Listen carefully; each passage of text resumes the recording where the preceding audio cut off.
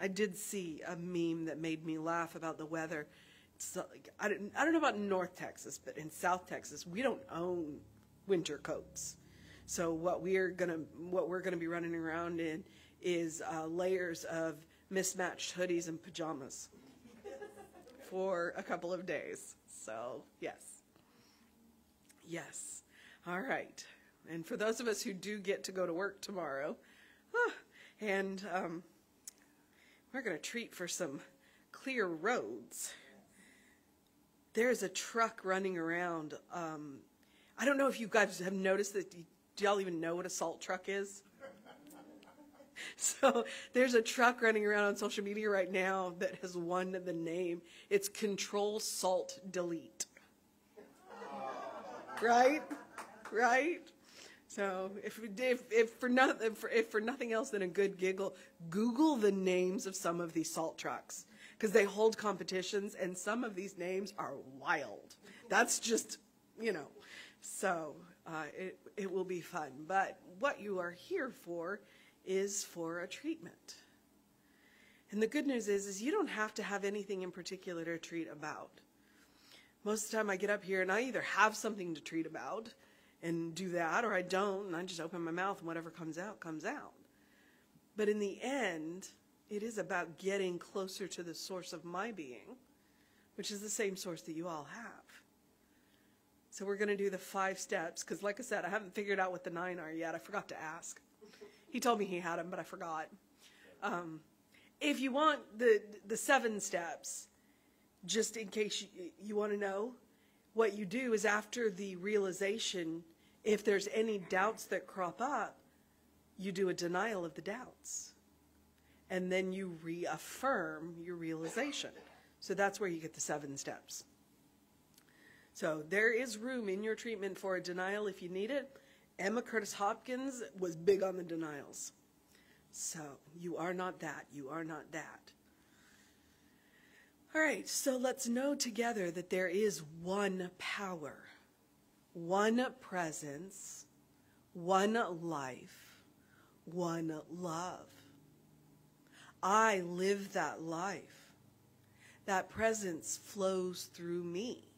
That power flows through me. I am a divine channel for that love. And in this moment, I speak my words for all of my fellow godlings, knowing that they are sourced from an inexhaustible source as I am.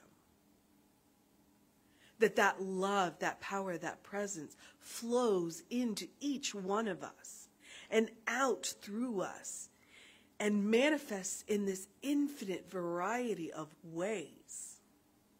So as we walk through this week, and we look to source and we say, surprise me with my good. Surprise me with more information about who I am. Show me what I can be if I choose. Let that flow into me gently and easily.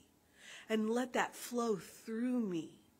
So that as I encounter each godling, I look into that godling's eyes and I see the source of my being looking back at me in love. That we treat each other as the beloved child of God that we are that relationships are easy, that needs are spoken and met easily, that we come to know each other better, and we come to love each other greater.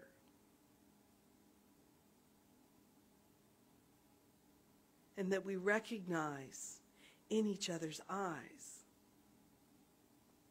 ourselves and that it is good.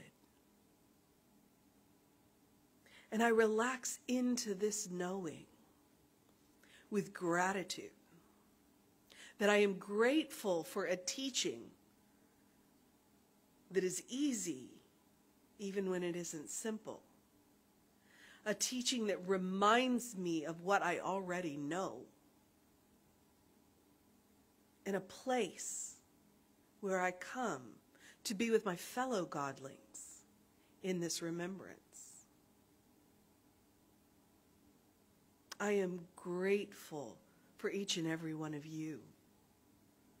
I am grateful for this place. I am grateful for this teaching. I am grateful for our ministers. I am grateful for our practitioners. I am grateful for our musicians. And I am grateful because it's just another word for love. And it feels good. And I relax into this knowing, knowing that it is done by the law with love. And so it is.